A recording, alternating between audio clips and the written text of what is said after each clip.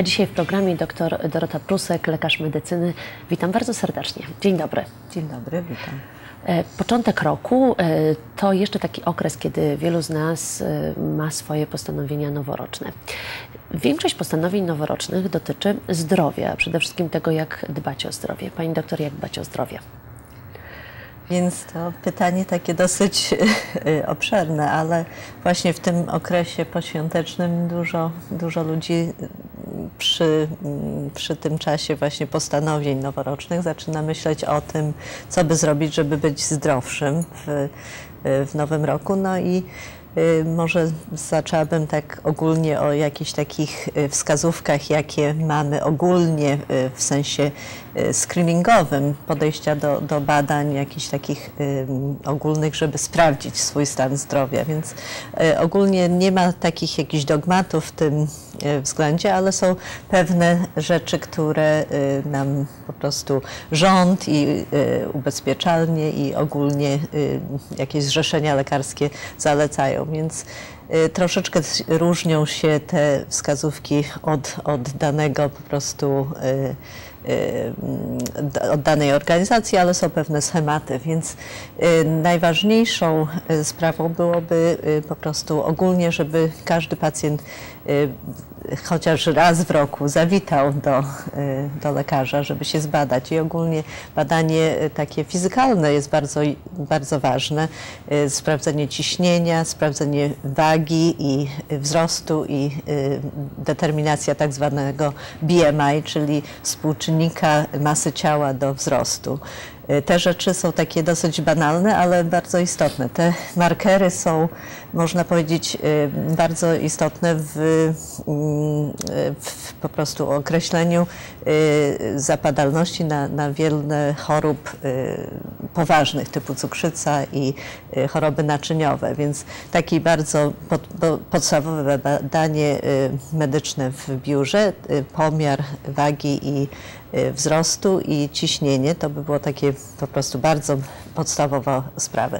Następnie y, screeningi takie bardziej już Y, skomplikowane dotyczą y, różnych badań okresowych typu mamografia dla kobiet, y, wymaz cytologiczny, kolonoskopia, badanie krwi, więc ogólnie kobiety powinny mieć mamogram począwszy gdzieś około roku 40, wieku 40 lat i potem co 2-3 lata w okresie od 40 roku życia do 60. Y, potem do 74 roku y, można y, po prostu ten przekrój troszeczkę przedłużyć co 3 lata, co 4 lata. Po 74 już w zasadzie to jest zależne od opinii lekarza. Co do mm, wymazów cytologicznych, teraz troszeczkę zmienili wskazania na te screeningi. Zaleca się kobietom młodym od 21 roku, mniej więcej y, do 40 y, roku, co 3 lata y, cytologia, a po 40 roku życia można to przedłużyć do 5 lat, jeśli się robi podczas cytologii marker na wirusa HPV, czyli HPV. Jeśli taki wymaz jest zrobiony, wystarczy raz na 5 lat ten, ten wymaz robić. A jeżeli chodzi o mężczyzn, jakie badania profilaktyczne mężczyźni powinni wykonywać w zależności, w zależności od wieku? Więc y, mężczyźni nie ma takich y, po prostu y, corocznych czy co paroletnich screeningów, takich jak kobiety mają zalecane, ale mężczyźni powinni oczywiście mieć badanie fizykalne, co mężczyźni bardzo często nie chodzą do lekarzy tak często jak kobiety, więc w ogóle zachęcam, żeby, żeby słuchali się swoich żon i, i, i przychodzili częściej na badania, ale zdecydowanie jednym z screeningów, które są zalecane dla kobiet i mężczyzn, to jest kolonoskopia, począwszy o, od 50 roku życia, jeśli nie ma się żadnych y, po prostu y, historii rodzinnej, jeśli nikt nie ma w rodzinie y, raka jelita, czy nie ma jakiejś rodzinnej skłonności. Po 50 roku życia i kobiety, i mężczyźni powinni te badanie zrobić i jeśli te badanie wyjdzie ujemnie, nie ma żadnych polipów, można nie robić dalszych screeningów do 10 lat. Więc to jest jedno badanie, które jeśli się wykona, jest dobre, więc ma się święty spokój, że tak powiem, przez, przez dekadę. E, mężczyźni też w wieku e, około 50 lat powinni mieć przynajmniej screeningowo zrobione badanie prostaty i marker na raka prostaty, czyli PSA. To jest badanie dosyć łatwe z badania krwi wykrywalne i Y, ten screening powinien być robiony. Y, jest trochę kontrowersji co do screeningów starszych mężczyzn po 65 roku życia, ale w tym dekadzie powiedzmy od 50 do 60 to badanie corocznie by było y, po prostu wskazane. A co sami możemy zrobić dla siebie, dbając o zdrowie? Co jest takim największym sprzymierzeńcem dobrego samopoczucia i zdrowia, a co jest największym wrogiem? Więc y, może zaczęłabym od wroga największego, to zdecydowanie mogę powiedzieć, że palenie papierosów na, na pierwszym miejscu. Jest to y, wróg numer jeden, jeśli chodzi o wszelkie schorzenia y, naczyniowe, zawały, wylewy, zatory, wszystkie, wszystkie choroby związane z, krzep, z nadmierną krzepliwością krwi, bezwzględnie papierosy, papierosy, papierosy. Y, także y, nowotwory, no oczywiście nowotwór płuc, o których wszyscy mm. wiemy i słyszymy, który jest do tej pory bardzo słabo leczony, też y, jest związany z paleniem. No i to, co wiele osób nie, nawet nie przypuszcza, inne raki typu nawet rak pęcherza moczowego, który wydawałoby się nie mm. byłby powiązany, jest bardzo mocno, z, jest duża korelacja pomiędzy paleniem i wszelkie raki przewodu pokarmowego, trzustki, y, żołądka i y, organów trawiennych, więc naprawdę palenie, jeśli to można wyeliminować, Y, to jest jednym z największych y, po, po, prostu y, profilaktycznych rzeczy, które można zrobić dla zdrowia. A z innych rzeczy, no oczywiście dbanie o, o to, żeby trzymać odpowiednią wagę ciała, żeby zapobiegać cukrzycy, która jest epidemią w tej chwili w świecie zachodnim, w Stanach Zjednoczonych, nawet w Europie teraz też bardzo statystyki idą do góry. No i cukrzyca jest jednym z prekursorem wszystkich właśnie innych schorzeń typu właśnie naczyniowych i, i y, zawały, wylewy i tak dalej są bardzo mocno związane z cukrzycą, więc walka z nadwagą, co za tym idzie dieta i gimnastyka, te, te rzeczy po prostu zapobiegają. Trzymanie odpowiedniej tej właśnie masy ciała do, do wzrostu. Czyli to są ci sprzymierzeńcy naszego zdrowia. Wspomniała Pani o, o cukrzycy. Skąd się bierze cukrzyca? Więc no, cukrzyca to, to jest temat też może po prostu ta cukrzyca, która teraz epidemicznie występuje w Stanach i e, w Europie i w, e, w ogóle w zachodnim świecie, to jest e, cukrzyca typu po prostu drugiego stopnia, czyli cukrzyca wyłaniająca się w wieku dojrzałym. Jest to cukrzyca zależna od nadmiaru wagi ciała do, do wzrostu, czyli o, związana z otyłością. Jest y, po prostu nie, nie ma niedoboru insuliny, tylko jest niedobór y, receptorów na insulinę do masy ciała, więc y, ciało wytwarza idealną ilość insuliny do wagi, która powinna być. Jeśli tej wagi jest za dużo, po prostu nie nadąża, żeby obniżać poziomu glukozy do do odpowiednich granic i wytwarza się wtedy hiperglicemia, czyli wysoki cukier i wszystkie następstwa tego, co Wspomniała Pani o, o cukrze. To porozmawiajmy o tym y, wspaniałym specyfiku w naszym życiu, bo cukier y, niby osłaca nasze życie. Z drugiej strony y, słyszymy, y, że to jest największa trucizna dla naszego organizmu. Czy, czy, czy cukier uzależnia? Więc y, cukier jako taki, więc jest, jest troszeczkę koncepcja, że cukier jako y, cukier stołowy, biała substancja w naszych cukierniczkach to jest ta, ta największa trucizna, ale Biała śmierć. biała śmierć, ale nie jest tak zupełnie prawdą. Glukoza, czyli cukier, który, który jest potrzebny dla pracy naszych komórek mózgowych i wątrobowych i, i całego ustroju, pochodzi z różnych cukrów złożonych. I właśnie te węglowodany to są naszym właśnie tutaj problemem numer jeden właśnie w tej epidemii cukrzycowej, że nasza dieta, szczególnie właśnie amerykańska i włoska i, i, polska poniekąd zawiera bardzo dużo węglowodanów, czyli ziemniaków, ryżu białego, białej pasty, czyli te makarony, kluski i tak dalej.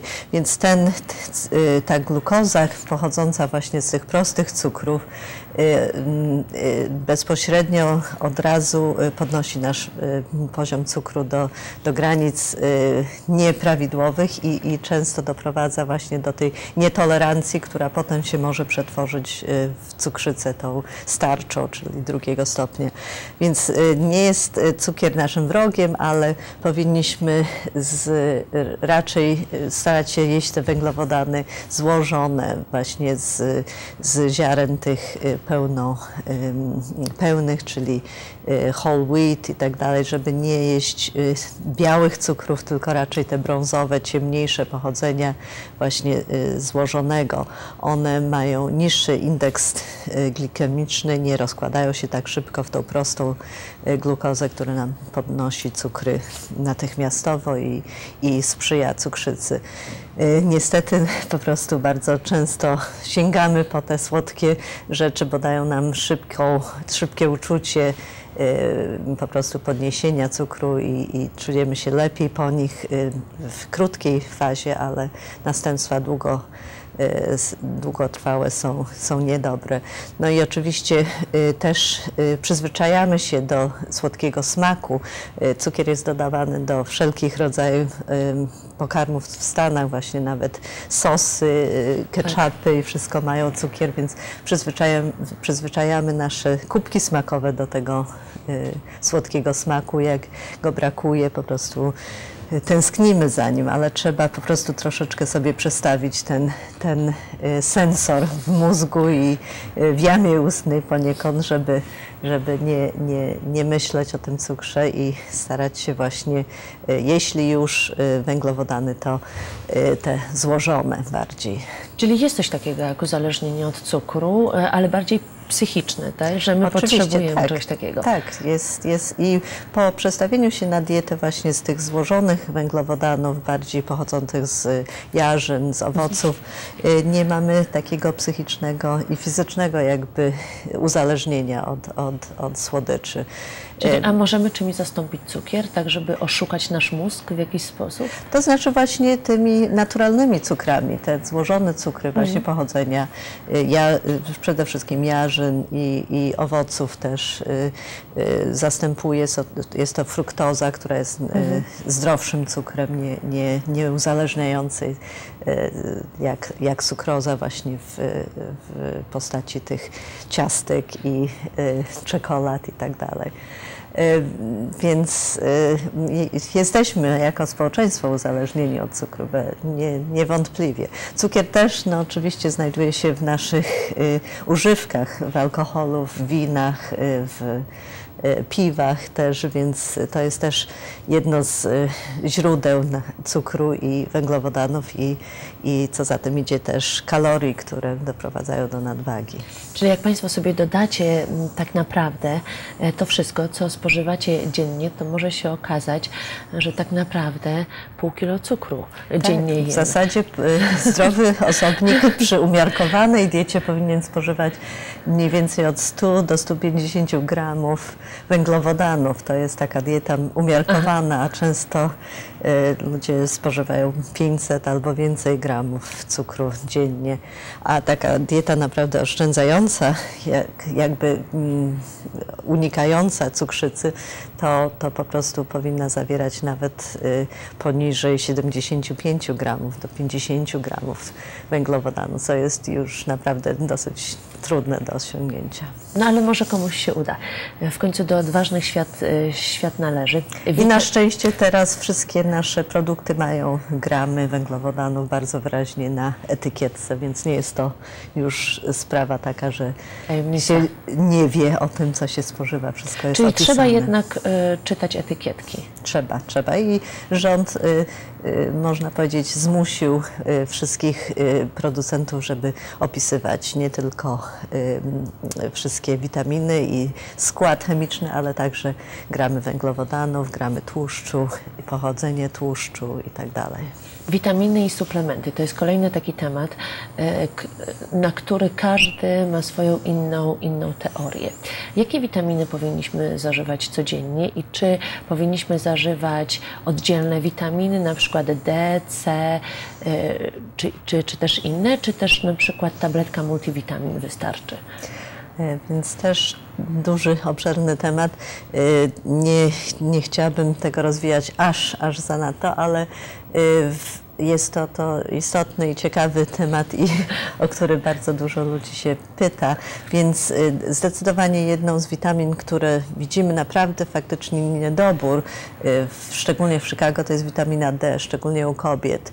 I e, wiąże się to z naszym położeniem geograficznym. Mamy mało styczności z, z światłem słonecznym i tak dalej. Więc y, ja badam bardzo dużo kobiet w gabinecie bardzo, bardzo dużo jest kobiet, które mają niedobór witaminy D. Y, jest to związane też ze słońcem, także z dietą, bo D, witamina D znajduje się w nabiale. Dużo osób nie może nabiału spożywać z różnych przyczyn, więc y, istnieje naprawdę, e, można powiedzieć, mini epidemia niedoboru, więc witaminy D, szczególnie kobiety w y, okresie menopauzy, koło menopauzy powinny za suplement D zdecydowanie spożywać. Około 2000, dwu- 2000 jednostek międzynarodowych powinno dostarczać taką naprawdę dawkę już Dziennie? leczniczą. Dziennie, tak. Y, Młodsze kobiety przed menopauzą mogą y, tą dawkę na połowę podzielić, 1000 jednostek. Co do y, różnych takich różnorodnych witamin z grupy B, C i tak dalej, w okresie po prostu zimowym, kiedy dużo jest przeziębień, wirusów i tak dalej, wysokie dawki witaminy C mają y, troszeczkę budujący budującą y, moc na, na odporność, więc wysokie dawki, nawet 500 mg dziennie, zalecane jest tak właśnie profilaktycznie, żeby uszczelniać naczynia, żeby nie dochodziło do y, katarków i tych różnych takich sączących się nosków, które widzimy zimą, ale mm, y, w, w trakcie normalnego roku najlepiej jest spożywać dużo jarzyn, owoców, soków, y, produktów bezpośrednio z, zawierających witaminy naturalne. One są najbardziej przyswajalne, najzdrowsze i najpewniejsze. Y, Ale nie zawsze jest dostęp, szczególnie właśnie zimą. Nie mamy organicznych y, produktów, które dojrzewały w naszym słońcu, tylko są dowożone w kartonach, więc w okresie zimowym faktycznie y, możemy mieć niedobór troszeczkę z naturalnych witamin, więc y, moim, w mojej opinii jedna witamina zawierająca taki po prostu mieszankę y, wszystkich witamin jest lepsza niż za, zażywanie 10 różnych y, tabletek, kapsułek i po prostu y, czasami y, ten, ta miksturka może zaburzyć nawet pracę jelit i y, szczególnie witaminy z grupy B są y, dosyć y, mm, y, przyswajalne w ten w trudny sposób żołądkowo powodując nudności, odbijanie się takim smakiem witaminowym. Więc wydaje mi się, że multivitamina zimą zdecydowanie jest dobra. Y, D dla kobiet, y, szczególnie menopauzalnych, jest bardzo istotny. No i C może być bardzo pomocny Dla wszystkich. tym, dla wszystkich Także musimy o tym e, pamiętać. Na koniec zapytam jeszcze o taki temat, nie nowy, ale wciąż kontrowersyjny. Szczepionki. Szczepić dzieci czy nie szczepić? Szczepić się czy nie szczepić? Więc no, to jest temat, który można powiedzieć, no, jak się zapyta 10 osób, można uzyskać chyba 10 różnych opinii, ale y, według mnie wydaje mi się, że szczepienie dzieci jest bardzo istotne.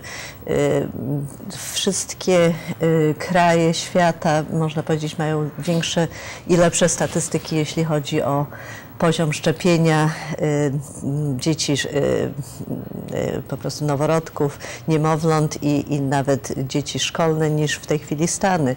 Zrobiła się moda w ostatnich latach, że wiele rodziców nie, nie szczepi swoje dzieci i powstały teraz w ostatnich latach nawrót chorób, które myśleliśmy, że są w tej chwili wyeliminowane, typu odra, różyczka, ostatnio krztusiec się pojawił w ostatnich latach, nawet w Chicago było parę epidemii. Świnka w tym roku właśnie też zapanowała nawet na Uniwersytecie Illinois. Nie wpuszczali studentów na, na zajęcia, zajęcia tak. bo musieli szczepić, bo parę było przypadków właśnie świnki u, u dwudziestolatek. Więc wydaje mi się, że no są to choroby mm, zakaźne, na które mm, można powiedzieć zapanowaliśmy, pokonaliśmy, a w tej chwili y, widzimy nawrót tych chorób i jest y, sprawa taka, że definitywnie są badania naukowe, oparte naprawdę o fakty naukowe, że y, autyzm nie jest związany z, ze szczepionkami. Te, te wszystkie papiery, które były y, na ten temat wydrukowane i y, i po prostu były używane jako amunicja, że, że, żeby nie szczepić. Jest dowiedziane, że, że tam faktycznie ten autor, zresztą w Anglii, y, zafałszował fakty i nawet y, w tej chwili y, prawne były sprawy przeciwko niemu i, i, i nawet został zakarany za, za, za falsyfikację po prostu danych. Więc uważam, że powinno się szczepić dzieci. Co do szczepień na grypę i tak dalej, więc jest to sprawa zależna od danej osoby, od y, czynników ryzyka. Zdecydowanie starsze osoby powinny się szczepić, te, które są y, schorowane i, i, u których grypa mogłaby powodować komplikacje. Ale co do szczepień dzieci, wydaje mi się, że, że powinno to być i powinno to dotyczyć wszystkich młodych ludzi. W takim razie w nowym roku życzymy sobie bardzo dużo e, zdrowia. Ja bardzo serdecznie dziękuję za czas i, i za wizytę e, w studiu. E, gościłam doktor Dorotę Prusek, lekarza medycyny. Rozmawiałyśmy dzisiaj o tym, jak dbać o zdrowie. Dziękuję jeszcze raz. Proszę bardzo.